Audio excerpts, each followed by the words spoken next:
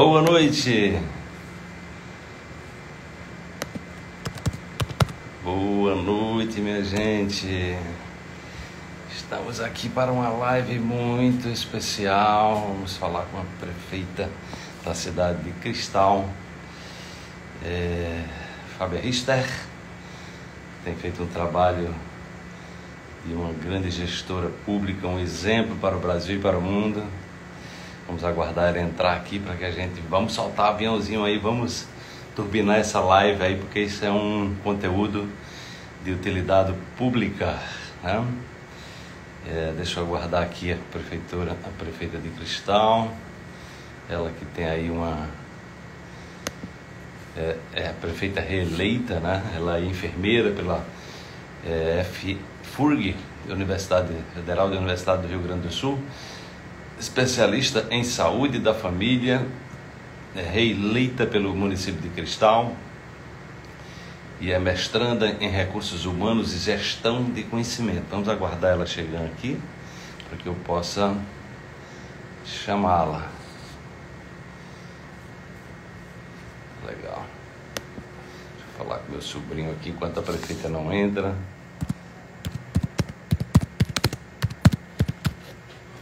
Vamos aguardar aí. Gente, vamos soltar aviões aí para que a gente tenha muita gente participando dessa live. É... Porque nós vamos trazer. Já decolou o seu aviãozinho aí, Laís? Vamos decolar esse aviãozinho aí para a gente trazer muita gente para conhecer esse trabalho que está sendo feito lá na Prefeitura de Cristal, para que a gente possa trazer esse espírito público né, para, todos os, para todos os gestores e para o Brasil, para o mundo, né, para que a gente possa levar essa possibilidade do, do cuidado com a saúde, né, da prevenção, né, uma lógica preventiva. A prefeita não, não entrou ainda, eu achei que ela tinha, ela me falou aqui, deixa eu ver se ela, Fábia Richter, deixa eu ver se ela entrou aqui eu não vi. Deixa eu ver aqui.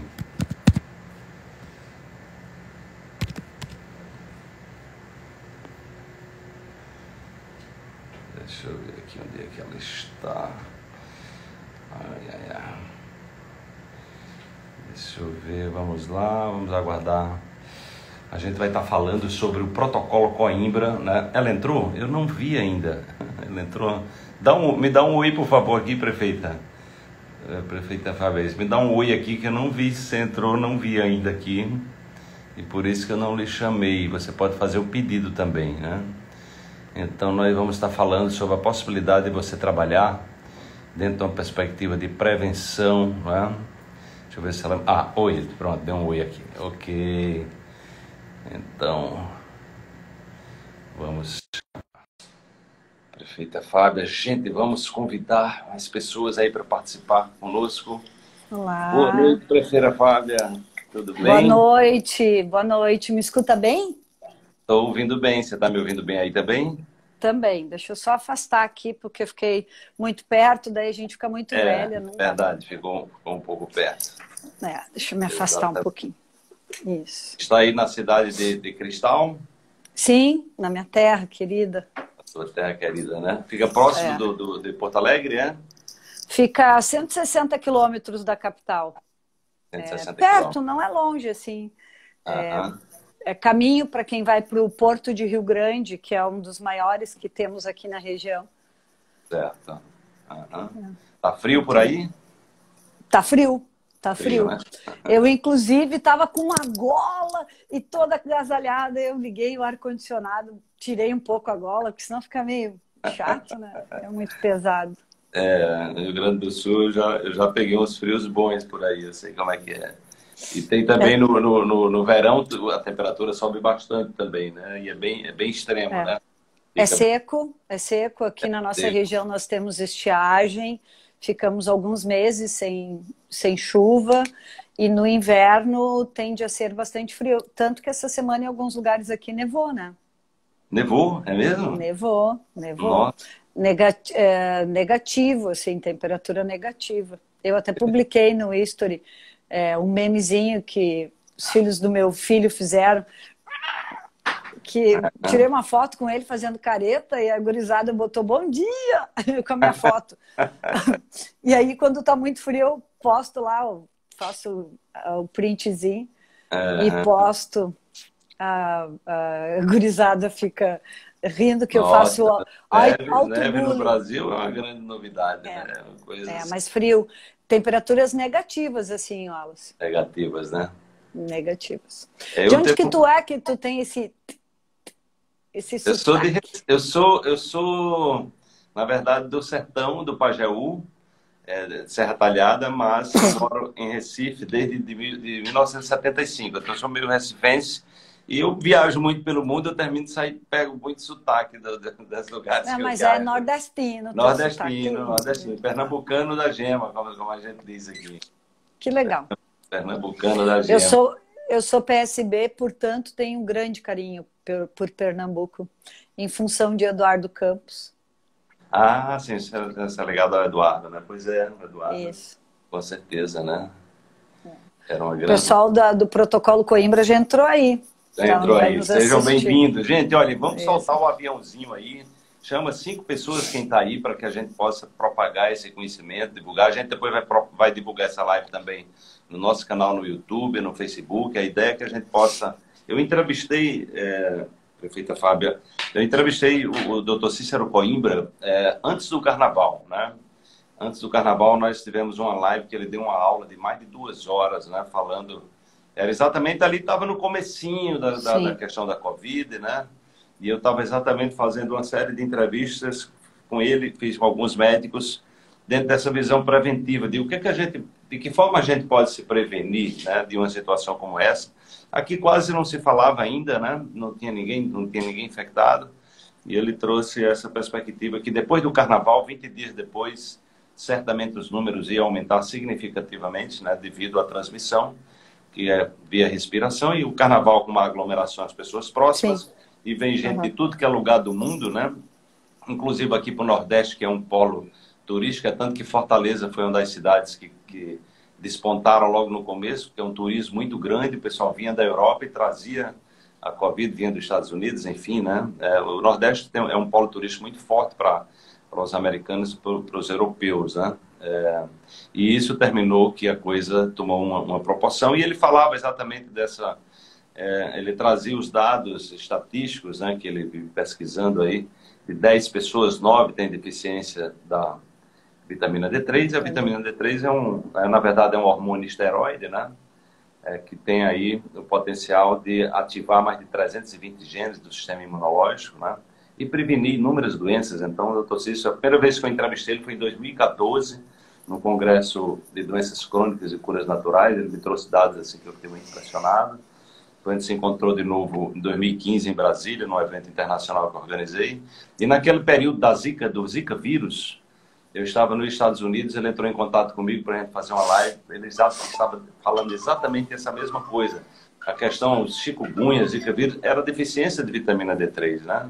E a gente está mais ou menos com essa com essa perspectiva, né? E a gente vive num mundo onde as pessoas querem vender remédios e vacinas, né? E não se prevenir das doenças e promoção de saúde. E todo o meu trabalho é voltado exatamente como eu tenho, eu tenho hoje mais de 30 anos que eu parei de tomar medicamentos químicos depois de ser uma pessoa com muitos problemas de doenças crônicas, né? Então eu, eu passei a ter um estilo de vida natural, que eu, eu chamo de estilo de vida das zonas azuis, né? é, voltado para alimentação orgânica, de, na, sua, na sua maioria, atividade física, pratico meditação, então tem uma série de. Né, tomo também suplementos, enfim, tomo sol. Hoje mesmo eu estava aqui nadando, nadei um quilômetro aqui, é, tomando sol quase no meio-dia. Ai, que inveja! é, eu estava eu tava fazendo, eu gravei, eu gravei uma, um, uma chamada né, lá na piscina e o pessoal daí do sul tava morrendo de inveja. Mas disse, aqui tá tremendo aqui, você Ai, não, com, esse, com esse sol. Eu vou né? desligar, tá, pessoal? Tchau. Vamos fazer essa troca aqui energética. Ah, não. Eu, eu digo sempre pro meu marido, eu amo o Rio Grande do Sul, mas nós não vamos envelhecer aqui. É muito difícil para o idoso. É muito difícil. É muito frio. É muito frio. É, é, esse, é bem difícil. É esse, esse período aí eu sei que as temperaturas ficam muito baixas mesmo, né? É, é, muito, é, é muito gelado. Tanto que nós tivemos alerta da Defesa Civil em função de que é, para nós cuidarmos dos idosos por causa do risco que teria da noite gelada que teve de quarta para quinta, quinta para sexta. Para tu ter uma ideia, Defesa Civil emitindo alerta disso. Uau! Né? Imagino, né? Imagino. Mas, mas, doutora Fábia, vamos, vamos falar então é, desse trabalho. Claro, me, dá um, me dá um minutinho que a gente tem. Ângelo, tu não quer escrever para mim, viu? Não quer escrever Gente, aproveita aí, aproveita aí. Você já convidou cinco pessoas, pelo menos, da sua família? Né? Então convida, porque essa live aqui tem um conteúdo é, extremamente educativo, preventivo, voltado para a saúde e é uma live com uma pessoa que é uma gestora pública é, é, que está fazendo a diferença e sendo um exemplo para todos nós e para o mundo, né? Então, Fábio, eu gostaria que você falasse um pouco desse seu histórico, como é que está sendo. Você, é, você, você é, é a segunda vez que você está sendo prefeita, né? Você foi reeleita, né? Então você tem Sim. uma experiência né, com a gestão pública, né? O que lhe motivou a, a entrar na vida pública, né? E como é que está sendo essa sua experiência como uma pessoa da área de saúde que está de fato né, trazendo uma abordagem é, preventiva, né? E que já está tendo resultados muito satisfatórios. Bem, eu tenho 46 anos, eu sou enfermeira desde os 22, me formei aos 22 anos e fui secretária de saúde durante quase 12 anos aqui do município de Cristal. E chegou um dia que eu entendi que eu, que eu não conseguia mais fazer saúde sem política pública transversal e, e era secretária de saúde cotada para ser é, vice-prefeita do candidato do prefeito, que era o vice-prefeito dele, né? E já entendi assim que como funciona o mistério do voto, entendia uhum. que tinha voto e que eu iria me comprometer com algumas coisas que eu não ia conseguir ter controle. Já tinha pedido voto para outras pessoas e vi que, que é muito difícil, porque ser prefeito é o pior cargo que tem hoje no país. Não existe cargo pior do que ser prefeito. Tu, é tu, tu entra na casa da pessoa, tu pactua com ela de que é, tu vai fazer aquilo, tu vai resolver, mas tu tem uma série de implicações entre a tua vontade e a necessidade dessa pessoa. Então eu digo sempre, até já escrevi sobre isso, que se, se tu é um, um gestor público que não tem problemas com o Tribunal de Contas, com o Ministério Público, e que tu consegue entregar para as pessoas melhorias de fato, tu é um grande gestor público. Porque, uhum. principalmente aqui no Rio Grande do Sul, que o nosso Tribunal de Contas é muito feroz, né? É, diferente até de outros estados, é, nós, nós, temos alta fiscalização assim das contas públicas, né? O que é muito bom. Mas ele, ele, assim, a gente tem muitos entraves na gestão pública. É, quando eu vejo com muita facilidade alguém da iniciativa privada dizer, ah, eu vou fazer, vou acontecer na gestão pública, eu sempre penso assim, tomara que ele tenha estudado um pouco antes, porque senão ele vai ter muito sofrimento pessoal por conta disso, assim. Então eu, eu, eu decidi eh, de uma maneira muito corajosa. É, a vida pública te tira muitas coisas, não é muito fácil, não. É, é Para quem é sério, é muito difícil. E, e talvez num outro momento a gente tenha que contar um pouquinho do, do dessa história né, de, de conquistar o voto, enfim, porque é, para a política é o único jeito realmente que tu tem de interferir de fato na vida das pessoas. Para tu ter uma ideia, eu era enfermeira, fui secretária de saúde é, e convivia com um município com mais de 10% da população analfabeta. Tive que tivemos que fazer muitas coisas fortes para conseguir tirar esses 10% da, do analfabetismo do município. Sabe o que é tu entregar uma prescrição médica sabendo que o cara não ia conseguir ler? Sabe o que, oh. que é tu, tu ir fazer a unha e ver que aquela pessoa que tem a tua manicure, ela não sabe ler? Então, uhum. era 10% é muito para uma população. Infelizmente, depois de oito anos, a gente está entregando um município diferente. Nós, eu fui uma enfermeira que apostei na educação e eu teria inúmeras histórias lindas para contar de que eu não dei nada para ninguém, a não ser oportunidade e motivação de pessoas que mudaram as suas histórias de vida. Eu teria inúmeras histórias lindas para contar, porque a educação é o que vai mover, mudar todas as histórias, né? A qualificação, quando tu muda a pessoa de dentro para fora, né? Sim. E eu entrei na política mesmo, Alice, porque eu era enfermeira assistencial e tinha, como todos os meus colegas, muito orgulho de dizer: eu sou assistencial, eu sou técnica, não me envolvo na política. E, e eu era concursada já no município vizinho, trabalhava no município de São Lourenço, 40 e poucos quilômetros daqui de Cristal. E, e o meu irmão, eu morava em Cristal e trabalhava lá. E eu, eu, eu, eu, sou uma família, venho de uma família de quatro irmãos, a minha irmã mais velha mora em Curitiba e eu aqui, e, mas nós as duas éramos uh, filhas de um pai que queria um filho homem, tanto que nós não tínhamos nome de menina, era Robson, nosso nome era para ser Robson, o nome da minha irmã era para ser Robson, e eu só sou Fábia porque o nome do meu médico era Fábio. Meu pai não tinha nome para me dar. E aí, é, esse filho tão esperado, quando fez 18 anos, o meu pai deu uma moto para ele. Ele caiu, bateu com a cabeça, foi atendido no nosso serviço de saúde, que não tinha nenhum medicamento, não tinha ambulância, não tinha médico, e eu vi o meu irmão fazer um edema cerebral de livro, com todos os sintomas na minha frente, e quando eu cheguei no atendimento é, especializado, ele estava nisocórico, em Glasgow 3, e, e para quem não é técnico e está nos assistindo, ele estava no pior nível de consciência possível, fez uma anóxia cerebral severa e ele é um sequelado grave, e a nossa vida mudou. Não estou dizendo que mudou para pior, mas mudou. A história da nossa vida mudou. Ele é um, um, irmão muito querido, mas a minha mãe vive para cuidar dele.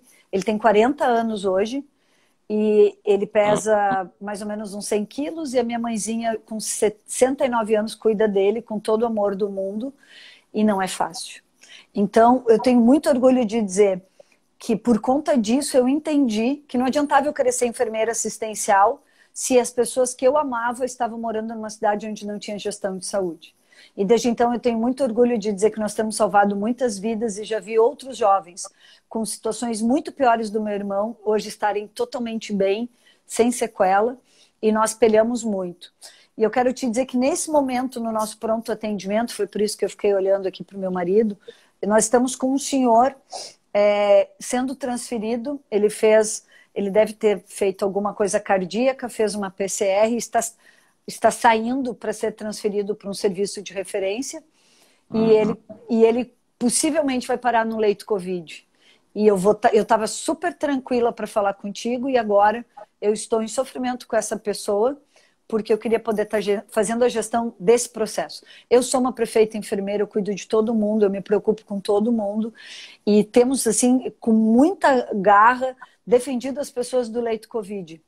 E, e talvez durante a conversa eu possa te contar pelo menos uma situação de várias que nós temos, de que se nós não tivéssemos agido com imediatismo, feito sorologia, feito PCR, com resultado muito rápido, a nossa, essas pessoas teriam ido para um leito Covid e teriam ficado lá esperando resultado de exame 5 a 10 dias, sei lá, porque essa é a realidade dos PCRs na maioria dos municípios do Brasil. E e a pessoa acaba que fica com Covid sem estar com Covid. Né? É, internamente, dentro da enfermagem, os relatos são imensos sobre isso. Né? Que a pessoa acaba que ela tem problema respiratório, ela entra, ela entra no protocolo, que é certo, não tem como ser diferente, porque daqui a pouco tu tira alguém é, que, achando que não é Covid e coloca ele numa área que não é Covid e contamina os outros pacientes. Então, para nós, profissionais é uma situação muito difícil. Por isso que eu digo sempre, o mais importante é a atenção primária fazer o seu serviço. Enquanto tem atenção primária, o que é atenção primária? Atenção primária é o posto de saúde. Aquela, aquele posto de saúde que a gente nunca acredita no que os profissionais falam, porque a nossa sociedade, né, Wallace, como tu disse, é uma sociedade que trabalha para a doença. Uhum. Então, o médico bem valorizado mesmo é o médico que é doutorzão, especialista da especialidade da ponta do dedo do pé. O cara que, uhum. que é bacana. Porque aquele cara que atende no postinho, qual é a leitura que toda a sociedade faz? De que ele, bah, ele não conseguiu fazer residência, esse cara é, é, bah, faz medicina comunitária porque é meio índio. Nós é, tratamos ele com preconceito. E tratamos todos da atenção primária assim. Enfermeira bacana é aquela que é pós-doc lá na UTI. Né? E, e, na verdade, o que tem valor, o que deve ser lembrado por todo gestor público, e eu vou me emocionar porque eu estou no momento pensando lá, é que agora eu penso assim: cadê minha equipe de saúde da família que, que, que não viu sinais que essa patologia ia complicar no fim de semana? Tu entende? É a primeira pergunta que eu faço. Porque quando eu, qualquer pessoa vai para o pronto atendimento, é porque ela teve que procurar emergência porque em alguma coisa, em algum momento falhou da atenção primária de saúde. Porque nós precisamos monitorar, nós precisamos cuidar, nós precisamos acompanhar, nós sabemos assim, por evidência eh, clínica, eh, o paciente com uma determinada idade ele tem que ser observado de uma determinada forma. Agora, aqui no frio, os pacientes fazem pico de pressão alta, mesmo os medicados. Por quê? porque esfria, faz vasoconstrição e os vasos apertados, eles fazem um aumento da pressão sanguínea.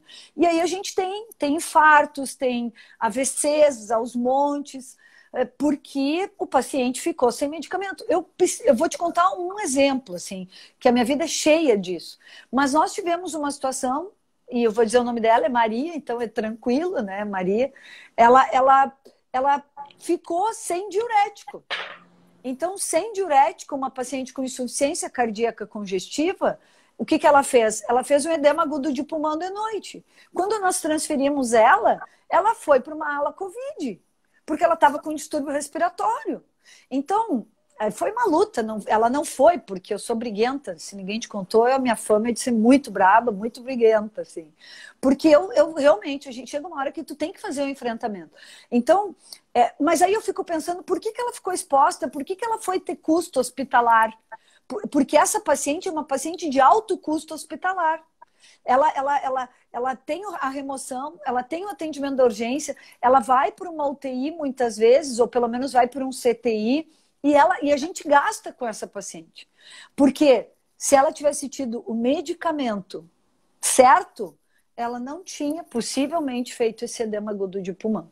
Então, a atenção primária de saúde é o mais importante para a gente conseguir manter esse paciente bem, estável. E é isso que Covid nos dá. Essa tem que ser a nossa grande herança. Porque eu, sinceramente, não acredito na vacina. Eu não acredito que a vacina vai resolver. Porque eu sou uma enfermeira de saúde coletiva. Eu vejo os pacientes tendo pneumonia o tempo todo, e nós temos vacina de pneumonia. Ok, ela não está na rede, então vamos falar da gripe. Nós vemos os pacientes gripados o tempo todo. Eu realmente espero que a vacina resolva o nosso problema. Por quê? Porque hoje tu vacina todo mundo com a cepa principal de que está cometendo através de estudo epidemiológico, tu, tu faz a vacina na, conforme aquilo que as pessoas estão é, é, é, sentindo e, e, sendo acometidas e as pessoas continuam tendo gripe, né? Então, a minha filha, a minha sobrinha... Tem falar dos efeitos colaterais, não é? Não é Isso. Eu vou falar disso agora. Minha sobrinha, em Curitiba, enfermeira obstétrica, falou: tia, vou participar do, do grupo que vai experimentar a nova vacina. Eu falei: não faz isso. Por quê? Porque é muito lindo a gente ter uma tese de dizer: ah, que bom, vamos participar daquele evento maravilhoso que vai salvar vidas. Mas a minha sobrinha, ela tem um filho pequeno, a gente não sabe o que, que tem de efeito colateral com isso né? Então, eu acredito que a vacina vai nos ajudar muito, mas não vai ser um milagre milagroso de, de, de breve, com essa brevidade toda. Sem falar que nós estamos num país que não tem grana para ficar gastando muito para comprar vacina, assim. Então é um desafio. E o nosso desafio é fortalecer a atenção primária. E foi por, isso, Alice, que eu identifiquei na vitamina D como algo muito importante para fazer bem para a nossa população. É. Eu, eu criei aqui no Cristal uma tríade. Inventei da minha cabeça, tá? Faz uns 15 dias que eu tenho falado disso. O que deu certo aqui em Cristal foi a, a tríade VTT. Vitamina D em dose alta para melhorar a taxa de imunidade, melhorar a resposta imunitária da população. Testagem com resposta rápida, porque esse senhor está sendo coletado agora até amanhã, meio-dia. Eu já vou saber que ele não é Covid, vou tirar da ala Covid em nome de Jesus. Vou, nós vamos conseguir fazer isso. E, e tratamento precoce. Porque os nossos pacientes não estão evoluindo mal, porque eles estão é, com uma resposta imunológica melhor. Mas nem todo mundo faz a boa adesão ao tratamento da vitamina D. Porque tu dar é uma coisa e as pessoas lembrar de tomar é outra. Eu mesmo já me esqueci de tomar a minha em alguns dias. Tu nunca te esqueceu da tua? A gente esquece, é, é natural. É, é. Sim, sim. E tem pessoas que, ah, porque eu tive uh, diarreia. Ah, bom, então não vou tomar, é da vitamina D. Eu tenho relatos disso. Então, assim, é, nós percebemos que os pacientes que evoluem pior são aqueles que não fizeram uma boa adesão ao, ao à suplementação da vitamina D. É. Mas também percebo que o tratamento precoce ele alivia sintomas muito claramente. A inoxeparina dada no período certo, com acompanhamento de tomografia, ela faz com que o paciente não precise ir para o hospital.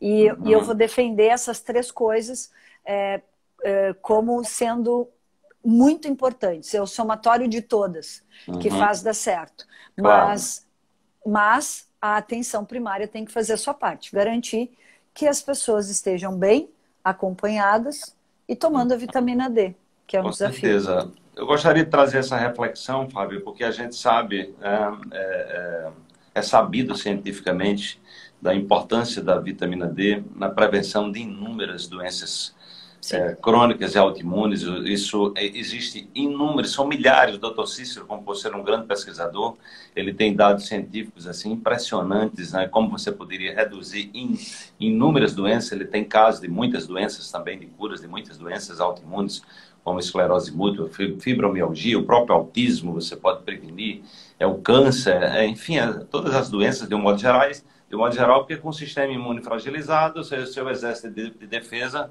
não está atuando como poderia atuar, não é? E nós não temos uma política de saúde pública focada exatamente nesse processo, né? Porque, não por é. exemplo, eu tenho o hábito de tomar suco verde. É, há anos que eu faço isso, né? Depois que eu mudei minha, minha alimentação, eu tomo meio litro de suco verde por dia. Então, isso me leva né, a, uma, a aumentar a minha imunidade, né? É, a, a, também estar me nutrindo é, com a, a 98% do meu alimento hoje é, é, é, orgânico, entendeu? Então, assim, são uma série de cuidados. Tem algumas coisas que você pode, é, digamos assim, é, dentro de uma lógica de política pública, também criar melhores condições para que a população possa usufruir disso, né? E se prevenir e promover a saúde de alguma forma. No entanto, a gente a gente percebe que a lógica predominante não é eu essa. Só, né? Eu vou me levantar bem rapidinho porque eu vou botar meu celular a carregar. Vai tá falando okay. que eu estou te ouvindo aqui. Tá, tá ok. Então, é, to, tá toda a nossa, é, toda a nossa a lógica, né? Toda a nossa lógica da saúde pública, na verdade, não é voltada, é voltada para a medicalização, né? é voltada para vacina, é voltada para dar medicamento nas farmácias, coisa toda, e, e não é voltada para educar as pessoas para se prevenir, para ter um estilo de vida que seja preventivo. E a vitamina D3, hoje sabe-se, inclusive na, Covid ficou muito claro no mundo todo, uma das pessoas que estavam com índices baixos eram as pessoas mais vulneráveis e aquelas que estavam com índices altos eram pessoas menos vulneráveis, inclusive os médicos, né? É, tenho relatos de médicos que me falaram sobre isso, o próprio doutor Cicero Coimbra também, né? E você terminou é, é, é, fazendo uso né, do protocolo Coimbra. Inicialmente você não conhecia o doutor Cicero Coimbra, né? Pela sua entrevista eu vi que foi através da sua irmã e você de uma forma corajosa se lançou nesse, nessa, nesse movimento, confiando nessa possibilidade, iniciou o tratamento, depois o doutor Cícero passou a dar uma assessoria para você, né? E aí, isso eu gostaria que você falasse um pouco para as pessoas que estão assistindo, Fábio, para entender exatamente todo esse seu plano, que isso acontece porque você é realmente uma pessoa comprometida aí com a tua comunidade, né? Você tá é, é, é, notório a forma, né? O carinho que você tem com as pessoas, que é exatamente isso que a gente está precisando na gestão pública, pessoas comprometidas com o bem comum, não é? Ou seja, qual é o melhor caminho? Porque na verdade nesse momento, se você está abraçando a causa pública, você se senta com pessoas de qualquer partido, de qualquer religião, seja lá o que for, e vai dizer, olha, vamos fazer um pacto aqui pelo bem-estar das pessoas, que isso está acima de qualquer coisa, entendeu? E não ficar numa disputa política de interesses e, e tudo mais, né?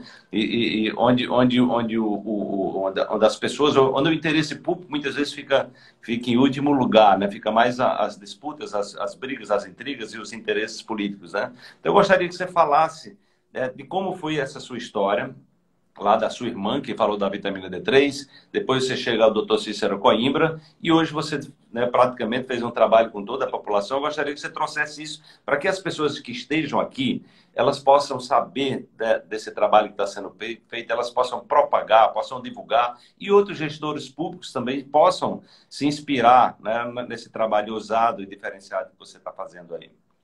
Tá bem. Eu tive que tirar o fone de ouvido. Tu tá me ouvindo bem? Me escuta bem. Ótimo. Tá ok. É, bom, então, assim, primeiro eu quero complementar isso que tu falou da vitamina D, para que todo mundo que entenda, que está nos assistindo e quem vai nos assistir. O melhor conceito que eu consigo é, é, fazer as pessoas entender o benefício da vitamina D é de uma analogia que o Dr. Cícero faz, quando ele diz assim: imagina um prédio com todas as portas fechadas, janelas fechadas. E aí tu coloca a vitamina D, tu é esse prédio. Tu coloca a vitamina D dentro de ti e é como se todas as portas e todas as janelas se abrissem e que tudo circulasse melhor, tudo funcionasse melhor. A vitamina D é isso no nosso corpo. E eu eu percebi o benefício que a vitamina D fez com os meus pais. A minha história com a vitamina D começa. Claro, eu sou enfermeira há 20 anos, eu, é, eu ouvi falar, bah, vitamina D, fui no gineco, meu ginecologista disse, Fábio, vamos melhorar a tua vitamina D. Estava 18 ou 19, vamos, vamos, vamos tomar a vitamina D, beleza. Mas eu não tinha me ligado real benefício dela. Queria ser, me arrependo muito, me entristeço muito de não ter ficado sabendo há seis anos atrás há oito anos, eu sou prefeita há oito, mas eu sou, eu sou secretária de saúde desse município há 12, 11 anos. Então, quer dizer, quantas gerações a gente já poderia ter feito uh, uh, gestações melhores e primeira infâncias melhores, né? Enfim, bom. Mas tivemos a oportunidade disso agora. O que, que aconteceu? Tenho, nós temos um médico muito querido por todos nós, que é médico de saúde da família, doutor Danilo Guedes, aqui, que é o médico da minha família. Então, ele começou a tratar meus pais com uma dose mais alta de vitamina D. Quando ele teve uh, uh, no meu pai, ele, uh, na minha mãe, eles me entregaram a prescrição do doutor Danilo e disseram: Olha, Fábio, tem que mandar manipular. Ele disse que não, não, não ia encontrar isso pronto. E aí eu olhei aquela dose e falei: Nossa, mas é bastante, né? Beleza. Mas, acreditando nele, eu mandei fazer. Eh, qual não foi a minha surpresa? Que passado ali umas duas semanas, três semanas, eu comecei a ver uma mudança de atitude, principalmente na minha mãe. Ela estava curvada, muito triste, ela não estava podendo sair de casa. Meus pais são assembleianos, eles, eh, a gente tinha. É, já, já tinha iniciado essa função da pandemia, eu já, eu já tinha dito para eles não, que não podiam mais sair de casa, enfim. E aí eu notei uma mudança de atitude nela e nele. E eu cheguei um dia até, que eu sempre digo que eles, se sabem que eu falo isso, eles vão me matar. Cheguei lá e disse assim, mas vocês parem os dois, só que me falta agora em engravidar. Né? Porque eu via uma alegria, uma assim, é, uma uma situação assim diferente, uma atitude diferente, né? E aí eu, me chamou a atenção. E, e junto com isso, um sábado à tarde, a gente recebe muita coisa no WhatsApp, né, Wallace? Muita coisa. E nem tudo eu posso olhar. E a minha irmã me manda muitas coisas, mas a, ela só me manda aquilo que ela sabe que é importante. Então ela me avisou: escuta isso. E eu, porque nós já tínhamos comentado que o pai e a mãe estavam diferentes depois do uso da vitamina D. E aí eu ouvi o doutor Renato Slonka, que é daqui do Rio Grande do Sul, falando da, da dose de 600 mil. Aí eu fui estudar, isso era sábado. Segunda-feira, eu convidei o doutor Danilo, junto com o secretário de saúde, a enfermeira Viviane, que cuida da atenção básica para nós, e falei: hein, vamos dar vitamina em dose mais alta para todo mundo? E aí o Danilo levou um susto. Eu falei, não, vamos, Danilo, vamos. Eu estou convencida que isso é bom, vamos. Bom, aí qual foi o nosso erro? Nós é, não tínhamos ideia da dose certa. E aí fizemos um protocolo, a gente mandou, é, divulgou. É, eu, eu, por exemplo, mandei fazer para minha família e solicitamos a toda a população que fizesse na medida que já pudesse, porque fazer a compra pública demora um pouco. Então, depois do protocolo instituído, nós fizemos a compra pública e aí demorou assim um tempo para chegar, mas assim algumas pessoas já, já tinham adquirido e começaram a tomar. Nesse meio tempo, é, eu, eu comecei a estudar, a olhar as coisas e eu cheguei a Figueirão, lá no Mato Grosso do Sul, com o doutor Vinícius, que é que eu achava sempre que ele era, era treinado pelo protocolo Coimbra, mas não, ele é, ele é um paciente. A Leda que me falou depois que eu, que eu tinha dito numa live aí que ele era treinado pelo protocolo Coimbra. Ele é paciente do Dr. Coimbra. E aí ele já tinha feito isso desde janeiro, ele já estava suplementando a população de Figueirão e os números dele são maravilhosos. O que, que acontece? É, eu, quando eu falei com ele, ele falou, prefeito, o que, que a senhora está usando aí? Eu falei, ah, nós estamos usando. Isso é pouco, é muito pouco. Vou, te, vou lhe colocar em contato com o pessoal do Dr. Coimbra. Mas eu já tinha uma grande admiração por Você estava usando, qual era a dosagem que você estava usando, Fábia? Não, nós estávamos usando 10 mil I para todo mundo. Ah, para todo mundo. Uhum. É, e hoje a gente sabe que para quem é, é, mais gordinho é uma dose baixa. Né? Uhum para essa situação. Bom, aí é, nós entramos em. Aí, muito rapidamente, a Leda, que trabalha, cuida ali das redes do protocolo Coimbra, ela entrou em contato comigo e eu tive a honra de conhecer o Dr. Coimbra e aprendemos desde então todos os dias com ele, todos os dias com ele. Porque ele, ele tem um, um conhecimento diferente, assim. Ele, ele tem uma ideia do benefício mas ele, ele, ele é um cientista, ele é um visionário, né? E, e eu penso que nós, aqui no município, nós teremos muito rapidamente muitos resultados importantes, porque antes de começar a live, eu conversei com a equipe que está trabalhando com Covid. Eu perguntei, só quero ouvir sim, não ou não sei. Não quero saber de outra resposta. Tu acha que a vitamina D está fazendo diferença para o resultado, principalmente dos sintomas dos nossos é, pacientes de Covid? Sim, claro que sim, né? Tá, mas, mas tu acha que, que quem está sendo acometido é quem não estava aderindo ao tratamento? Sim. Então, eu, eu vou contar um exemplo. Nós temos uma senhora que na quarta-feira vai fechar os 14 dias delas, dela.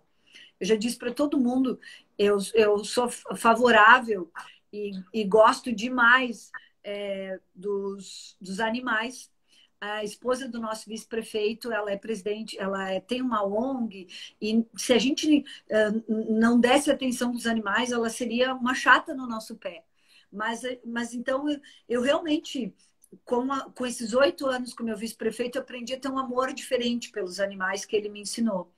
Mas nós vamos soltar foguetes aqui para que todo mundo possa realmente ver que o que a gente está fazendo está dando certo. Porque nós temos uma paciente, a dona é, Isaura, ela tem 81 anos, diabética e está evoluindo maravilhosamente bem. E ela tomou 600 mil I de vitamina D tomou junto com os pacientes crônicos quando eles tomaram 600 mil.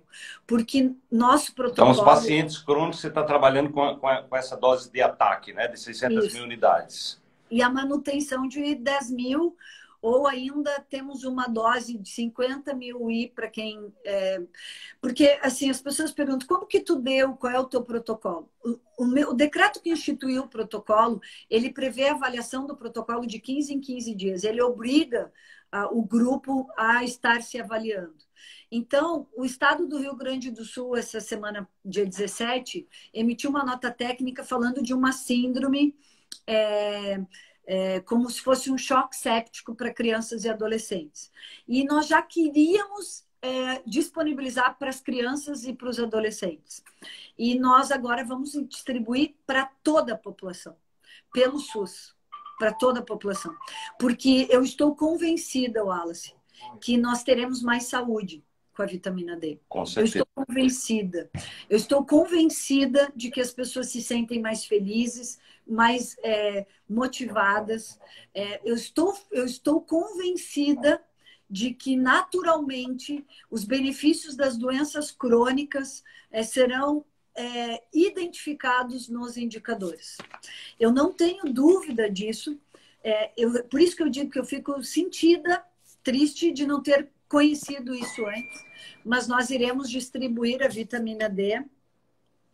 Ah, olha só, o pessoal mandou me avisar aqui que a dona Isaura tem 91 anos. Eu falei errado. Ela não tem 81, ela tem 91. O nosso pessoal está assistindo, eles merecem todo o meu respeito. Eles são muito dedicados, são incríveis, incríveis.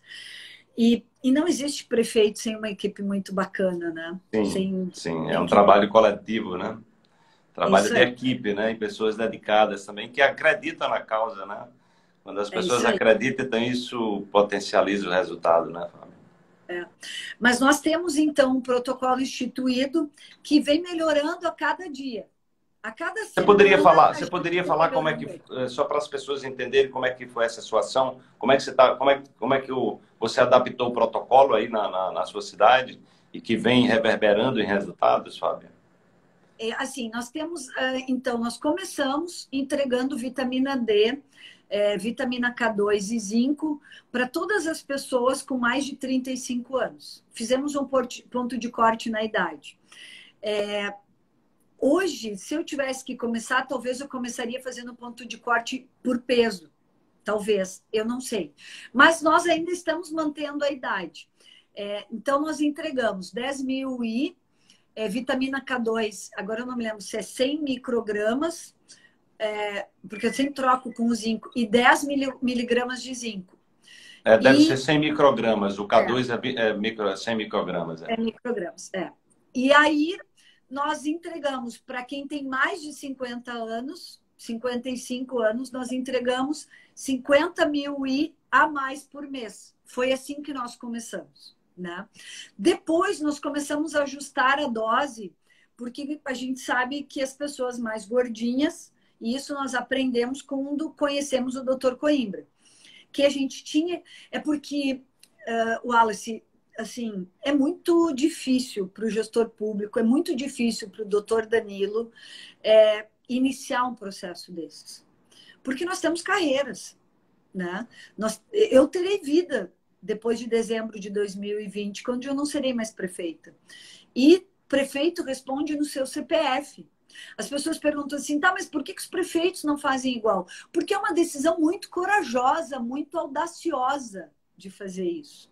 É, é, tu tem que ter muito convencimento. Sim. Mas eu digo assim que, isso é Deus na vida da gente dando coragem. Não tem outro, outro jeito. Essa inspiração, essa determinação. E e, e, por isso, quando a gente começou, a gente. Nossa, eu, nós todos duvidamos da dose, da dose de 600 mil e. É, nós, eu, eu e o doutor Danilo e toda a equipe, nós ficamos com medo das 600 mil I. Então, nós começamos devagarinho. E quem é que e recebe hoje... essas 600 mil UIs, Fábio? Desculpa, como é que é? Quem recebe as 600 mil UIs? Quem... Todo mundo que é sintomático respiratório do município toma uma dose de 600 mil I com duas Uau. cápsulas de zinco. Todos Uau. os sintomáticos e aí respiratórios. Você, você joga o sistema imune da pessoa lá para cima, né? E Maravilha. Todo, todo doente crônico desse município recebeu uma dose de 600 mil I e a, a, a orientação de manter as 10 mil depois que que uh, passasse 20 dias da dose de 600 mil. O que, que hum. nós já identificamos, Wallace? Que 20 dias é muito tempo. Tanto que domingo passado nós estávamos fechando quase duas semanas sem casos. E eu dizia para minha equipe: nós temos que mandar o pessoal voltar a tomar 10 mil. Porque, não sei se tu viu a live, eu tive, eu quero falar de mim agora, eu tomei é, 10 mil. 10 é, mil, 20 mil intercalado, porque eu tinha cápsulas de 10 mil que eu tinha mandado fazer para 60 dias. Quando eu criei o protocolo Coimbra, eu fui na farmácia de manipulação e comprei para toda a minha família. Meu filho tem uma taxa de vitamina D, ele tem 16 anos, de 70 miligramas. E minha filha teve uma crise de asma essa, essa semana, que ela é asmática. Então eu falei, Rafa, nós vamos testar a tua, tua vitamina D. Possivelmente ela esteja baixa. Então, manter os níveis altos de vitamina D é um desafio. Só para vocês terem uma ideia, eu tomava 10 mil, 20 mil, 10 mil, 20 mil por mais de 60 dias. Uh, cheguei próximo do nosso governador que testou positivo e tive realmente conversei com ele, estávamos os dois de máscara, mas resolvi fazer o teste. Quando eu fui fazer o teste, eu tomei a dose de 600 mil, que eu estava com muita vontade de ter um motivo para tomar de uma vez, né? Tomei. E eu fiquei impressionada como eu fiquei ótima. Foi como se tivesse me colocado uma carga de pilhas. Eu passei, eu fiquei assim. O pessoal de casa não disse, mãe, te acalma um pouco. O pessoal do gabinete calma. Até coreografia na chegada lá do gabinete eu comecei a fazer. A, a, o impacto da vitamina D na nossa vida é muito forte. É muito forte. Ele é muito realmente impressionante. É, e nós é porque você bota, você bota o pessoal todo para cuidar de você, né? O sistema imune fica todo alerta, né? Isso. Então você muda a sua vitalidade, a sua energia, né? Então você está protegido de fato, né? Então isso é muito legal. E aí depois das 600 mil, quando eu estava com mais ou menos 11 dias sem tomar uh, vitamina D, mas é claro que meu cortisol é lá em cima, meu nível de estresse é muito alto, é óbvio isso eu tive herpes. Tive uma herpes no nariz e tive uma herpes labial. E eu falei, epa, não tá tão alto assim. Não tá tão alto como eu pensei. E aí eu voltei a tomar. Quatro dias que eu voltei a tomar, eu fui testar minha vitamina D, que eu calculava, imaginava que estaria perto de 100. Bah, top. Mas ela ainda ela, ela estava em 91, mas eu não tenho dúvida que ela já estava caminhando para decréscimo. Ela deve estar em 70 agora né? Porque eu ainda estava sobre o impacto das 600 você poderia, mil. Você poderia falar dos níveis adequados para as pessoas que estão assistindo é, é, entenda, né? Você está falando dos níveis de vitamina D3. Qual é o nível mínimo que a gente, a gente deve ter e qual é o nível ideal para a gente se proteger cada vez mais? Eu só queria conversar contigo, porque pelo meu horário ali, eu não sei Talvez a live vai cair daqui a pouco. Não sei o que tu quer combinar, senão vou falar bem rapidinho. Não, Olha, se você, eu... se você tiver tempo, a gente pode reiniciar e você fecha a conversa para não ficar tão corrido, entendeu? Não, tu, tu que sabe, tô por ti. Tudo é, bem, mas, então tá. Mas, mas então, assim, é, a, a, a, Sociedade Brasileira de Endocrinologia, ela, ela criou o limite mínimo de vitamina D em 20.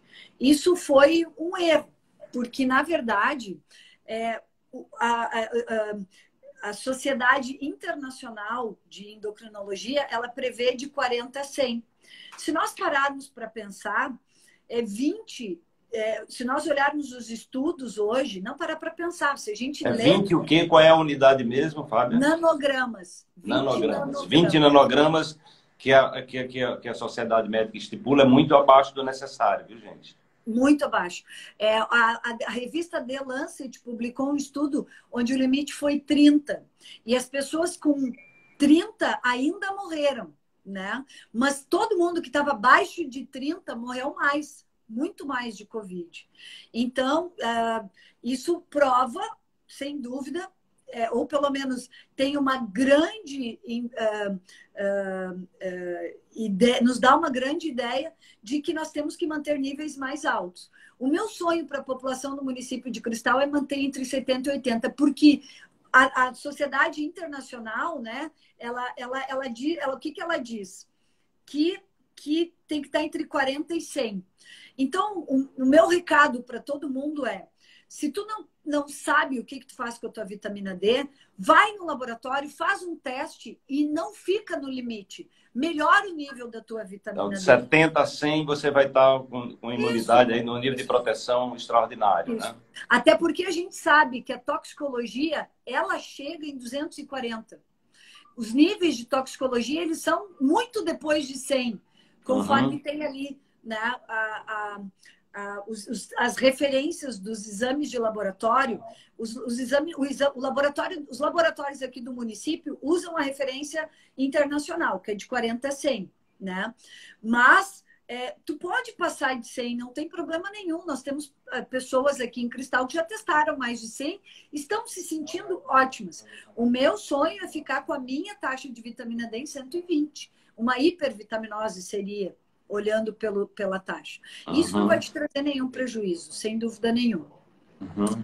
Maravilha, Fábia. Eu gostaria que você falasse também do, dos, dos, números, depois que você começou é, com essa dose de ataque, quando depois você começou é, exatamente imunizando a população como um todo, como é que você, quais são os números da, da, da Covid na, em, em Cristal, como é que você observou? É, essa, essa, essa capacidade de recuperação das pessoas, mesmo aquelas que já, que já tinham tido a doença. Falar um pouco do, do, do, do resultado prático disso aí. Bom, os números são muito positivos, né? Nós não tivemos nenhum paciente que saiu de, de sintomatologia leve. É, a transmissão, é, para nós, é muito clara que se a pessoa tem uma boa adesão é, na suplementação que a gente está fazendo com a vitamina D.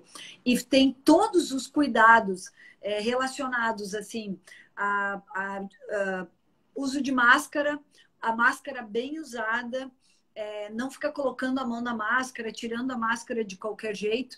Tu pode estar do lado da pessoa Covid positiva que ela não se contamina. É incrível isso. Eu não tenho medo de dizer que nós podemos trabalhar tranquilamente se não tomar um chimarrão junto com o nosso colega. E, de fato, cada um na sua mesa, trabalhando usando máscara. Né? Porque eu tenho dito assim, eu estou para e tô, vou fazer uma, um vídeo para conversar com a população de cristal assim que terminar a nossa live. Eu estou para multar as pessoas que dividirem chimarrão. Porque realmente as pessoas se contaminam com essas situações sociais ou com desrespeito do cuidado da, do uso de máscara. Por quê? Porque em casa a gente não vai usar máscara. Né? Mas se tu não usa máscara no trabalho, aquele surto ele fica contido naquela família, né? Ah, fulano de tal não usou máscara em tal lugar se contaminou, contaminou a família. Mas se aquela família se cuida no trabalho, não contamina ninguém de casa, eh, fora de casa né? E isso para nós é muito claro. Mas nós não tivemos, assim, de todos os pacientes, nós não tivemos é, nenhum com caso moderado, ninguém foi para o hospital, é, todos evoluíram com sintomas muito bons, assim, e a nossa incidência é muito baixa. Mas lembrar que nós aqui testamos e fizemos rastreamento, que isso é uma outra coisa que eu não falei não, para mim é inconcebível ter pessoas que é, ter gestores que aceitam fazer testagem de faz de conta. Na verdade, quando a gente testa a pessoa com um suave nasal, nós precisamos ter a resposta rápida, porque tu não tu, tu precisa saber se essa pessoa é positiva. Ah, mas eu deixei ela de quarentena. E os dias anteriores que ela estava no trabalho dela? Nós tivemos um problema aqui numa empresa. Uh, chegou uma pessoa na segunda-feira sintomática, ela consultou e, como a gente coleta do terceiro ao quinto dia de sintoma, ela deveria ela deveria testar na terça. Então, ela testou terça-feira. Quarta de manhã, nós tivemos o resultado dela. Quarta de manhã ela era positiva, nós testamos naquele dia 27 colegas dela. Na quinta-feira de manhã nós tínhamos 11 positivos. Tu imagina se eu tivesse que esperar cinco dias do resultado desse cara, qual seria a incidência que eu teria? Eu não pegaria mais. Eu não pegaria mais. A gente teria o descontrole completo. E é por isso que a gente não consegue cuidar bem de ninguém. Porque tu fica cuidando de todo mundo que fica aparecendo o tempo todo, tu trata todo mundo sem saber se é Covid realmente ou não, porque as pessoas adoecem, tem DBPOC, tem paciente que fica com pneumonia, tem paciente que, que é tabagista, a minha filha mesmo fez uma limpeza, eh, teve contato com água sanitária e ela acabou desencadeando uma crise alérgica. Então, isso tudo continua. Se nós tratar todo mundo como é Covid, acaba que o cara que é Covid mesmo, tu passa desapercebido, tu não toma, não, não consegue cuidar de fato dele. Né? Então, testar, testar de verdade, com resultado rápido, é uma grande ação que o gestor público tem que fazer. E talvez é, essa seria a grande ação, que o Ministério da Saúde deveria fazer, sabe? Todo mundo fala de testar, Sim. todo mundo que sentou na cadeira Sim. do Ministério fala de testar, mas Sim. precisa ser teste de verdade, né? Teste claro. de verdade com resultado breve. Eu tenho colegas profissionais de enfermagem que ficam 14 dias longe do seu trabalho, 14 dias numa semana, aí depois com, com um sintoma de novo ela fica mais 14. Como que um serviço de saúde vai dar conta disso? Não tem como. Então, se tu tem é, o resultado mais rápido, até o teu servidor, até os trabalhadores, as empresas teriam menos prejuízo, porque a gente conseguiria devolver os trabalhadores mais rápido para o trabalho. Né? E aí é um somatório de ações que a gente tem que fazer diferente. Ah, mas aí não tem evidência clínica disso. Tá, eu fico pensando, eu tenho medo. Ah, eu estou fazendo uma coisa que não tem evidência clínica. Tá bem, mas será que ninguém se pergunta que não fazer nada também é crime? Será que o promotor, será que o juiz não vai enxergar o teu ato de ficar parado como um crime também? Porque eu olho e fico pensando, que não fazer, sabendo que eu posso fazer a diferença, é um crime também. Sim, e, a, e, as evidências científicas do uso da vitamina D3, existem milhares de trabalhos científicos sobre isso, né, né Fábia? E nós faremos evidência científica na, na, na medida que nós conseguirmos fazer também com uh, critérios técnicos. Claro. Né? Nós teremos evidência científica de como se enfrenta, do que claro. fazer e do que não fazer. Cada um Com decide certeza. como vai ocupar o seu espaço na história, tu não acha? Com certeza. Eu, eu não quero ficar parado. Claro, perfeito, Fábio. Olha, nós vamos, eu vou encerrar a live e a gente começa de novo para a gente fechar a conversa. Só para é, as pessoas estão perguntando sobre o protocolo Coimbra. Eu vou falar aqui é, da, dessa, da, da, da, dose básica que o, que o doutor Cícero recomenda para todo mundo, mas a Fábio já está mostrando aí. Pessoa que tem é, doenças crônicas deve tomar essa, essa, do, essa, essa dose de ataque de 600 mil unidades, mas uma pessoa que não tem nenhum sintoma, não tem uma, ou seja, não, não é uma pessoa com sobrepeso, a recomendação é no mínimo 10 mil unidades né, diárias, né, de 100 a 200 microgramas de. É, de vitamina K2. A vitamina A também, 10% do que você toma de vitamina D3, ou seja, se você toma 10 mil, toma mil de vitamina A. O cloreto de magnésio também é muito recomendável, né? E o zinco, né? A dose de zinco, qual é a mesma dose de zinco? Aqui nós usamos para pacientes sintomáticos uma dose de 70, é, uma, uma cápsula por dia. 70, é, dois 70, dias seguidos. 70 microgramas. microgramas, né? E 70 microgramas de zinco, tá? Depois eu vou botar essas informações é, com detalhes lá.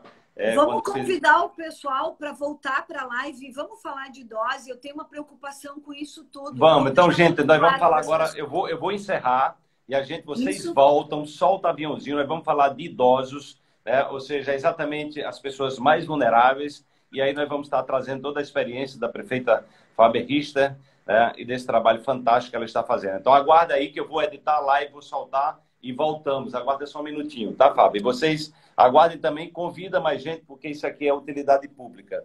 Quanto mais gente sabendo dessas informações, nós vamos melhorar o nosso país e o mundo, tá? Até já.